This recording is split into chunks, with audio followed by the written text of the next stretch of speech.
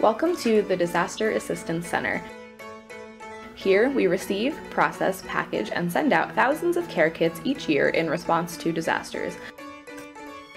A disaster is the impact of a natural or man made hazard that negatively affects a vulnerable group of people or the environment. This warehouse is one of two in the nation, the other being in Maryland.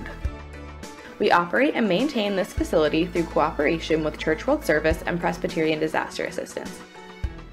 There are three kinds of Gift of the Heart kits hygiene kits, school kits, and emergency cleanup buckets. A hygiene kit contains a hand towel, washcloth, bar of soap, nail clipper, toothbrush, wide tooth comb, and six band aids.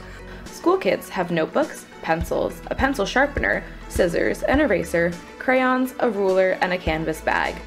The contents of a cleanup bucket are sponges, a scrub brush, laundry detergent, dish soap, latex gloves, work gloves, trash bags, bug spray, and more. Volunteer groups make kits and check pre made kits. When kits are packaged and ready, they sit in the warehouse until they need to be shipped out When you're done, make sure you sign the wall.